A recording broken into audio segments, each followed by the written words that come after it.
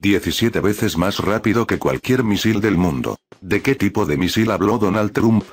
Recientemente, el presidente de los Estados Unidos, Donald Trump, dijo que su país está desarrollando un cohete que será 17 veces más rápido que el ruso y todos los análogos existentes en el mundo. Ahora quedó claro de qué cohete hablaba Trump. Ahora estamos creando increíbles equipos militares. Lo llamo un misil super duper. Y escuché recientemente que es 17 veces más rápido que los que ahora son, dijo Trump en la ceremonia de presentación de la nueva bandera de las fuerzas espaciales de EVE. U. Trump explicó que los misiles de Rusia son cinco veces más rápidos que la velocidad del sonido, y China está trabajando en misiles que son 5, 6 veces más rápidos.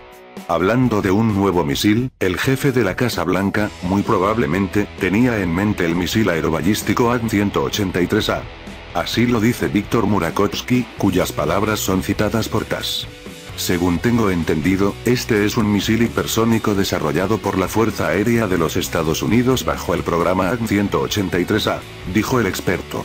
Murakovsky explicó que, según los cálculos de los desarrolladores estadounidenses, este misil debería alcanzar una velocidad máxima de 20 Mach, y su alcance de debería ser de unos 900 kilómetros.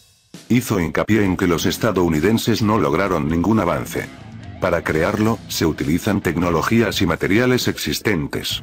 El misil balístico hipersónico lanzado por el aire ARWO, Airborne Rapid Weapon Rapid Weapon, ya existe como prototipos y se está probando. El desarrollo del AN-183 ya está liderado por Lockheed Martin Misiles y Fire Control, que recibió 480 millones de dólares en agosto de 2018. Agregó que ahora se está instalando en la suspensión externa del bombardero estratégico B-52 Stratotres. La etapa de combustible sólido proporciona aceleración, luego el bloque hipersónico mismo vuela a lo largo de una trayectoria balística. Al mismo tiempo, el experto dudaba de la capacidad de la ojiva de misiles para mantener alta velocidad a una altitud inferior a 4-5 kilómetros. Según Murakovsky, Trump habla de su alta velocidad, refiriéndose a volar con un acelerador en la estratosfera. Pero es poco probable que los estadounidenses logren un vuelo controlado a una velocidad de aproximadamente 20 Machs. Entonces mientras tales declaraciones están más en el campo de la publicidad y las relaciones públicas.